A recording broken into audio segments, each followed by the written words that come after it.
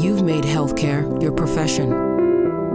Now make fixing it your purpose. The Brown University Executive Master of Healthcare Leadership. Let's heal healthcare.